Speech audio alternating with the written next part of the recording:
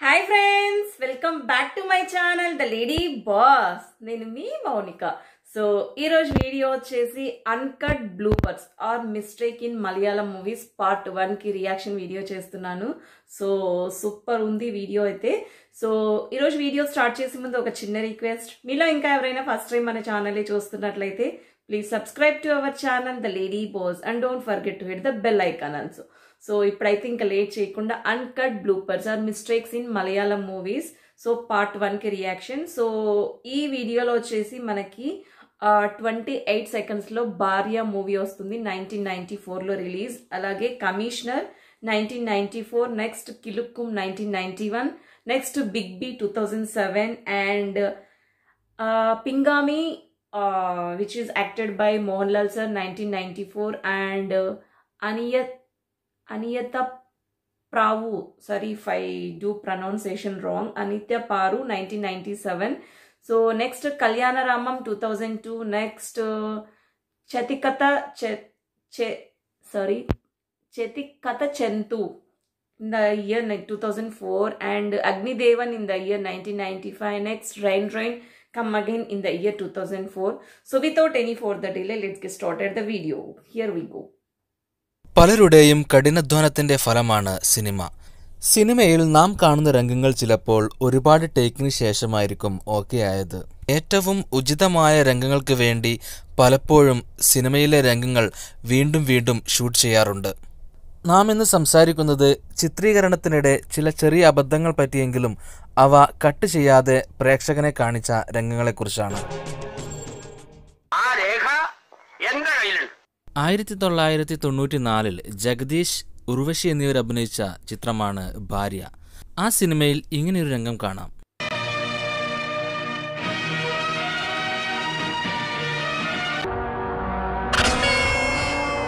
ഉർവശി വേഗത്തിൽ നടന്നു വരുമ്പോൾ ക്യാമറയിൽ വന്നിടിക്കുന്നതും എന്തോ ഒരു ശബ്ദമുണ്ടാക്കുന്നതും വ്യക്തമായി നമുക്ക് ആ സീനിൽ കാണാം. ആയിരത്തി തൊള്ളായിരത്തി തൊണ്ണൂറ്റി നാലിലെ മറ്റൊരു ചിത്രമായിരുന്നു കമ്മീഷണർ. ചിത്രത്തിൽ സുരേഷ് ഗോപി മാസ് ഡയലോഗ് പറഞ്ഞുകൊണ്ട് സ്ലോ മോഷനിൽ നടന്നു വരുന്ന രംഗം കാണാം.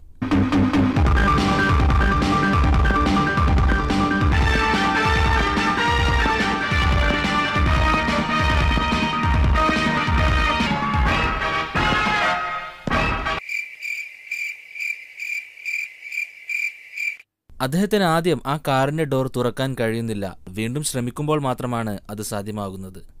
ആയിരത്തി തൊള്ളായിരത്തി തൊണ്ണൂറ്റി ഒന്നിലെ മോഹൻലാൽ ജഗദീഷ് ശ്രീകുമാർ ചിത്രം കിലുക്കത്തിൽ ഇങ്ങനൊരു രംഗം കാണാം. ഈ കൊരങ്ങൻ എപ്പോഴും നുണയെ പറയൂ. എടി മൂദേവി ഞാൻ കൊരകനല്ലടി ചിമ്പൻസിയാണ് ചിമ്പൻസി. അതിന് കലി വന്ന് എന്തൊക്കെ ചെയ്യുമെന്നറിയോ? ഈ രംഗത്തിൽ മോഹൻലാൽ ജഗതിയെ തടയേണ്ടതായിരുന്നു. പക്ഷെ മോഹൻലാൽ അത് മറന്നു പോകുമ്പോൾ ജഗതി തന്റെ കൈകൊണ്ട് മോഹൻലാലിന്റെ കൈ പിടിച്ചുകൊണ്ട് തന്നെ തടയിപ്പിക്കുന്നതായി നമുക്ക് കാണാം. സിനിമയിലുണ്ടാകുന്ന ചില അപകടങ്ങൾ സ്ക്രീനിൽ അതുപോലെ തന്നെ നമ്മെ കാണിക്കാറുണ്ട്. അങ്ങനെ ഒന്നാണ് രണ്ടായിരത്തി ഏഴിൽ പുറത്തിറങ്ങിയ ബിഗ് ബി എന്ന സിനിമയിലെ കാർ പൊട്ടിത്തെറിക്കുമ്പോൾ ഒരു ഭാഗം മമ്മൂട്ടിക്ക് നേരെ വരുന്നതും അദ്ദേഹം തലനാരിഴക്ക് രക്ഷപ്പെടുന്നതും സിനിമയിലും നമുക്ക് കാണാം.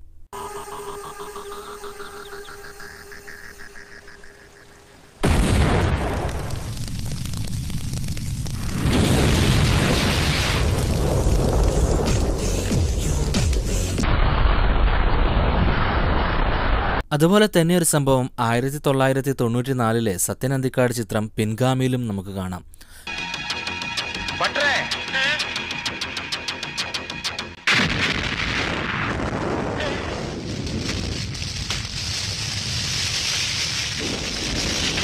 കാറ് പൊട്ടിത്തെറിക്കുമ്പോൾ ഒരു ഭാഗം ഇന്നസെന്റിന് നേരെ വരുന്നതും അത് അത് കണ്ട് മോഹൻലാൽ ഞെട്ടുന്നതുമായ ഒരു രംഗം സിനിമയിൽ അങ്ങനെ തന്നെ കാണാം. ഈ രംഗങ്ങളൊന്നും തന്നെ ഒഴിവാക്കിയില്ലെങ്കിലും ചിത്രത്തെ അത് ബാധിക്കില്ല എന്നതുകൊണ്ടാണ് അവ നിലനിർത്തിയിരിക്കുന്നത്. സിനിമാ ഷൂട്ടിങ്ങിനിടെ നടന്മാർ ചിരിച്ചു പോകുന്നത് സ്വാഭാവിക കാര്യമാണ്. എന്നാൽ ചില സിനിമകളിൽ അങ്ങനെ ചിരിക്കുന്നത് കട്ട് ചെയ്യാറില്ല. അങ്ങനെയുള്ള ചില രംഗങ്ങളാണിനി. ആയിരത്തി തൊള്ളായിരത്തി തൊണ്ണൂറ്റിയേഴിലെ കുഞ്ചാക്കോ ബോബൻ ഫാസിൽ സൂപ്പർഹിറ്റ് ചിത്രം അനിയത്തി പ്രാവിൽ. അതല്ലപ്പാ ഇവനെ കഷ്ണം കഷ്ടമായി വെട്ടിനുറുക്കാൻ നടക്കാണ് മിനിയുടെ മൂന്ന് ആംഗ്ലമാര് അവരുടെ കൂടെ വേറെ ആൾക്കാരും ഉണ്ട് ഇവനെ കഷ്ണം കഷ്ടമായി വെട്ടിമുറുക്കാൻ നടക്കാണ് മിനിയുടെ മൂന്ന് ആംഗ്ലമാര് വളരെ സീരിയസ് ആയ കാര്യമാണ് ഹരിശ്രീ അശോകൻ പറയുന്നത്.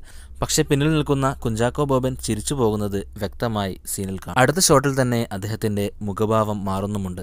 രണ്ടായിരത്തി രണ്ടിലെ ഷാഫി ചിത്രമാണ് കല്യാണരാമൻ?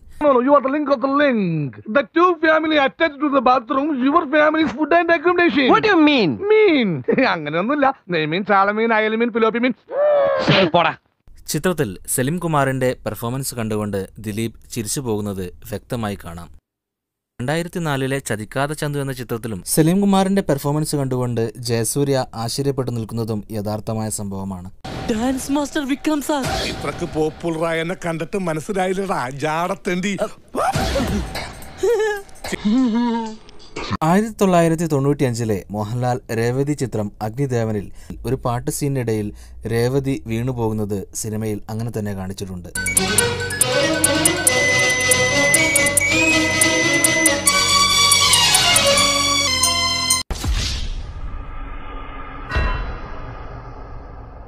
രണ്ടായിരത്തി നാലിലെ റെയിൻ റെയിൻ കമ്മഗെയിൻ എന്ന ചിത്രത്തിൽ പാട്ട് സീനിടെ നായിക പുറകോട്ട് വീഴുമ്പോൾ പിന്നിൽ നിൽക്കുന്ന ബാക്ക്ഗ്രൗണ്ട് ആർട്ടിസ്റ്റ് അവരെ പിടിച്ചു വെക്കുന്നത് വ്യക്തമായി ആ പാട്ടിൽ തന്നെ കാണാം.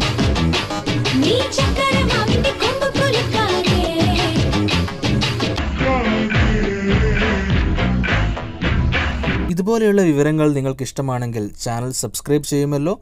കൂടുതൽ രസകരമായ സിനിമാ വിശേഷങ്ങളുമായി വരാം. പീസ്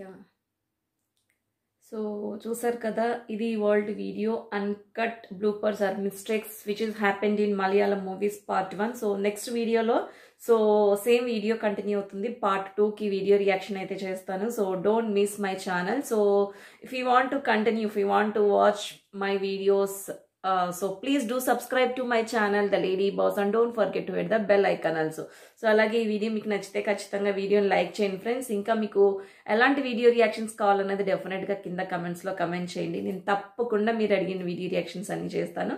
సో నెక్స్ట్ వీడియోలో మళ్ళీ కలుసుకుందాం. అంతవరకు టేక్ కేర్ ఫ్రెండ్స్ బాయ్